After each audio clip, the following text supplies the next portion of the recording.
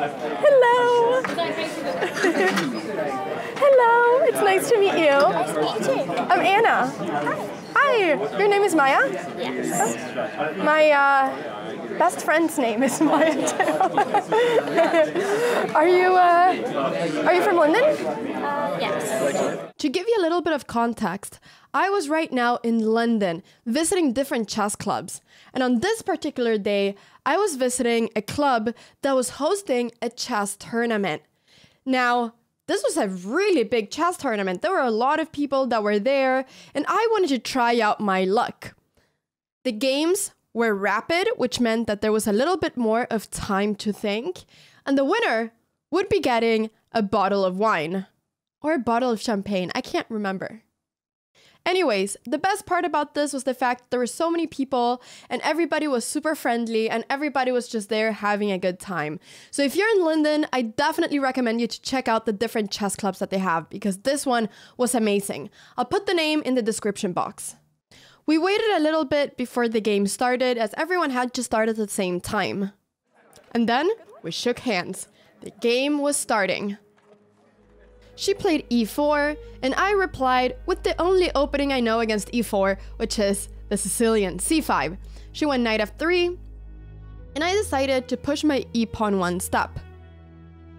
Now she played knight c3, so she didn't play the open Sicilian, which is what most people play. Instead, she kind of waited with that, so I developed my knight, and she played bishop c4. The idea of this is to kind of prevent me from playing d5, and if I play knight f6, well then she can push up her e-pawn one step and really annoy my knight. I decided to play a6 because I wanted to threaten b5, and then maybe if she didn't play d3, be able to play c4. However, she stopped my plan, so I attacked her bishop, and now she only had one move, she had to go bishop b3.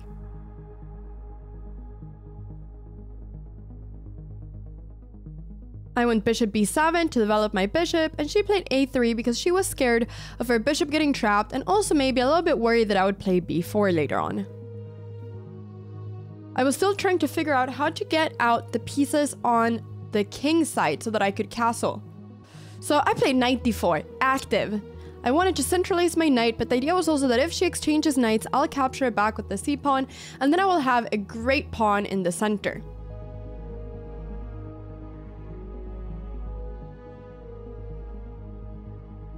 She spent here a little bit of time thinking, and everybody there was so focused, like it had been so loud a few seconds ago, but now everybody was just playing their games of chess.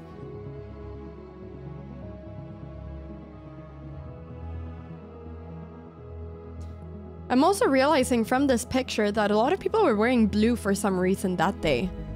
There's a lot of blue everywhere. I was wearing a blue jacket that I got secondhand when I was during that trip. So castles. She finally castled and I realized that I could finally take her bishop and double up her pawns, making her get a bad pawn structure. She has double pawns, but she also has a d3 pawn, which is now not protected anymore, which means that I might be able to attack it a little bit later on. I developed my knight.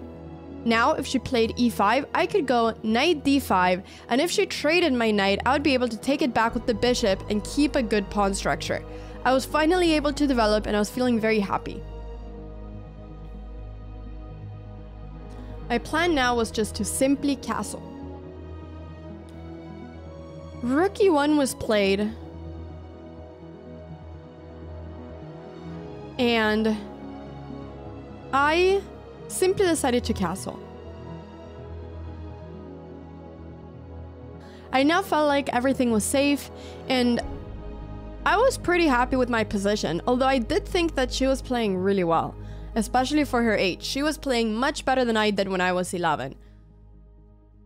So she pushed her e-pawn and I realized that it was probably because she wanted to get a knight up to e4, and then to be able to place a knight on d6. So I started considering my options. Should I go knight d5 and centralize my knight? Or should I go knight e8 and stop her plan of going knight e4 and knight d6?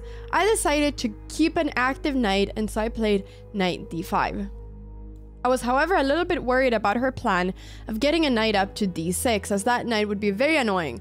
Although I realized that if I ever play f6, her knight on d6 is going to be a little bit misplaced, as I'd be able to get rid of the pawn defending it. So I was calculating all of these different things, and everything that I wanted was just to make sure that I would have a pretty safe position. I didn't want to enter anything too crazy, but I was feeling pretty good and confident here.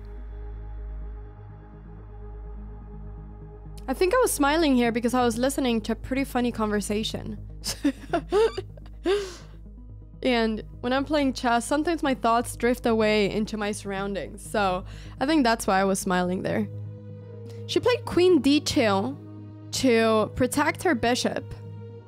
And now I felt like there might be something. Or at least I felt like I was pretty happy with my position.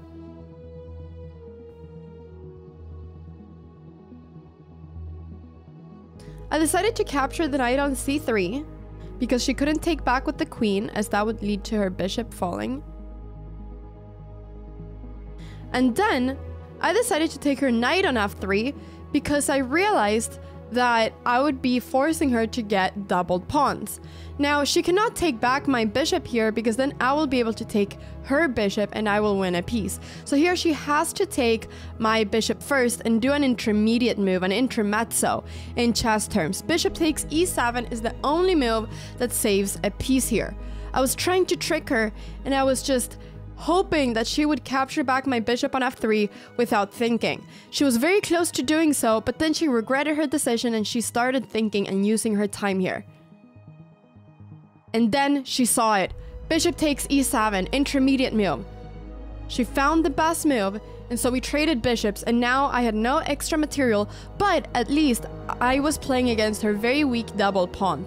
So I played f6 to open up the f-file for my rook, and now I realized that I would be able to target her f3 pawn very easily with if pawn takes f6, rook takes f6, rook f8, and now my rooks and my queen are both going to become very strong.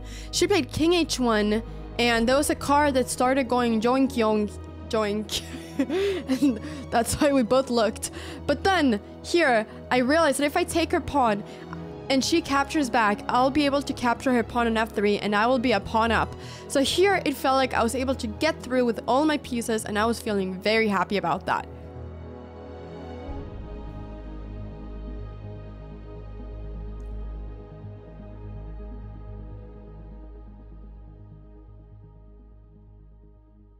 She realized here too that she was losing a pawn, and she was probably not so happy about that. It's funny because in chess, you kind of forget who it is that you're playing against. I didn't think that I was playing against this 11 year old girl. No, at that moment, me and her were the same age. It was extremely competitive, and I was just thinking about the chess game. I wasn't thinking about who I was facing. And that's one of my favorite things about chess. So she captured back the pawn with the rook. And I really wanted to take now the pawn on f3, but I decided to take a moment to just really figure out if that is the best move.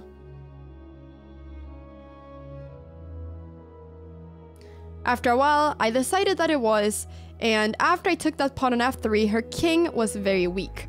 But most importantly, I had the idea of going rook f8, targeting the f2 pawn, and then just applying even more pressure. So she wanted to counterattack. She went rook g1 to try to target my g7 pawn. I decided to bring the next rook into the equation, rook f8. Now I'm threatening rook takes f2. So she played rook g2 defending and I had to come up with a way of keeping the attack going. I could go queen f6 or queen h4 to target the f2 pawn again. I just wanted to make sure that she did not in any single possible way have a sacrifice on g7 or have anything that would lead to either a win for her or a perpetual.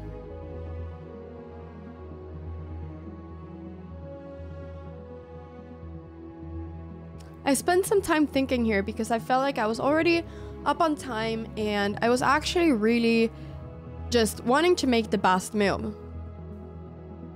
And I felt like I had the time. That's a good thing about Rapid, that you have the time to think. I finally ended up playing Rook f7 to really make sure that she did not have any attack towards my g7 pawn. I was preparing now to go queen h4 and target the f2 pawn even more. She was thinking here about what to do. How could she continue her attack? I started looking at the game next to me because I thought that the position was very interesting. And then I don't know what happened, but I think I got something on my hand. I don't know if it was some raindrops or what it was, but I got something. She played queen e2, maybe trying to go rook takes g7 at some point, and then maybe if I if the rook captures back, my f3 rook is hanging, and also kind of preventing d6, as if d6, there's rook takes e6, my e pawn falls. So here, everything that I wanted was just to keep my ideas going, just to keep the attack going. I want queen d6 to target the d3 pawn. That was my that was the next pawn that I wanted to, to attack. But looking back to this position, I don't really know why I didn't play queen f6 or queen h4. I think it might have been because I, I, thought that after king g1, there wasn't really any way of continuing here. And the d3 pawn was much harder to defend as the rook on g2 could not go to the d file. So I thought here the only real way of defending this was going rook e3. But then it felt like both of my rooks on the f file would be very, very, very strong. We have played a long game to this point though, and I was only a pawn up, so this girl was definitely playing really well. And I mean, I, I was very impressed. I was very, very, very impressed. She ended up going rook e3 to defend the pawn. And now I had to make a decision. Should I capture the rook? Or should I just simply move my rook somewhere else, like rook f5 or something like that? So I was thinking about my different options. I also had the option of playing something like queen d5 or queen c6 to defend the rook and keep the tension that I had there.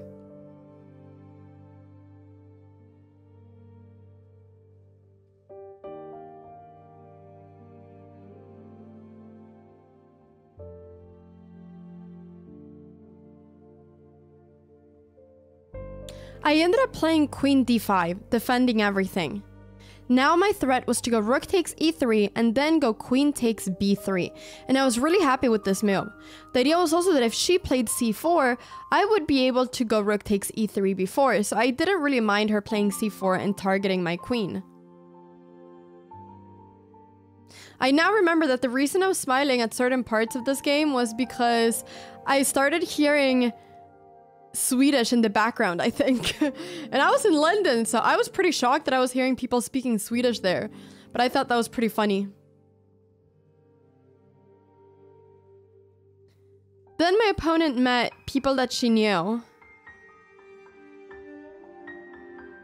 And I asked her if that was her dad, but she said no.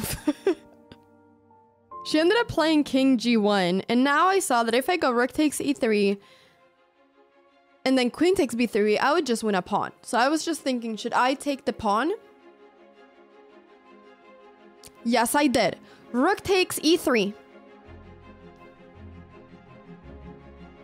She went queen takes e3, and then the pawn on b3 had the potential of being mine.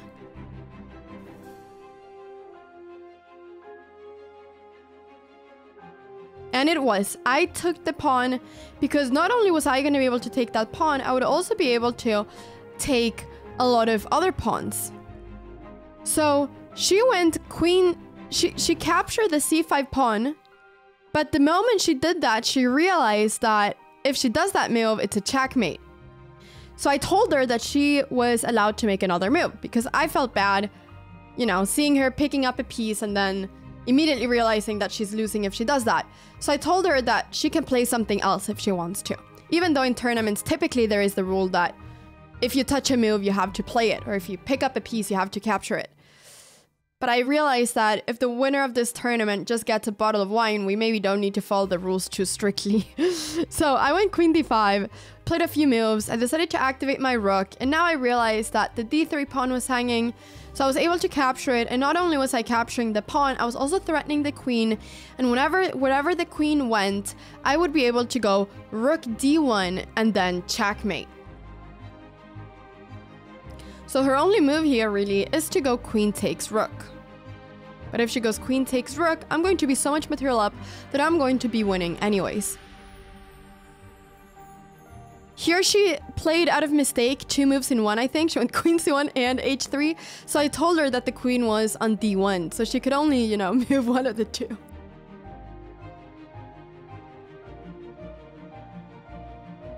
But this was uh, very obviously just a mistake. And now she was thinking about where to go with the queen. She only had 9 seconds left on the clock.